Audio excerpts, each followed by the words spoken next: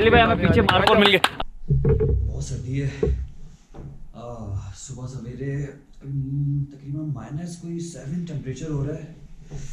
और आज का हमारा प्लान है, हम यहाँ पे सॉस में रुके हुए एक दोस्त के पास।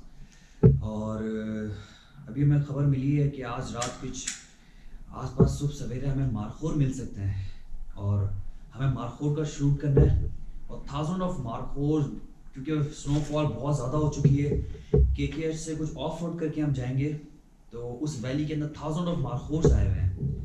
तो हमें उनको कैप्चर करना है। और ये एक बिल्कुल सीक्रेट प्लेस है जहाँ पे हम जा रहे हैं मारखोर को कैप्चर करने के लिए।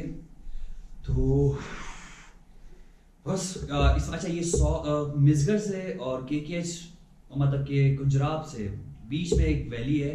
ये वहाँ भी हम जा रहे हैं। और ये टोटली ऑफ़ रोड होगा। मज़ा आएगा। लेकिन सर्दी बहुत है बिस्तर से निकलने का दिल नहीं चाह रहा।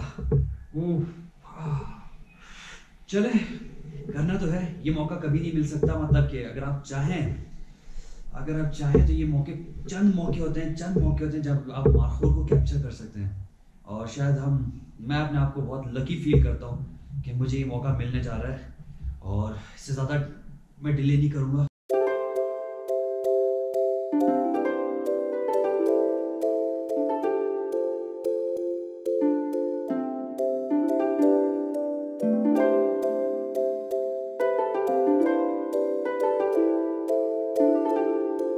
भाई हमें पीछे मार्बल मिल गया। अब शोर मचाना शुरू कर दिया। वो भाग रहे वो पर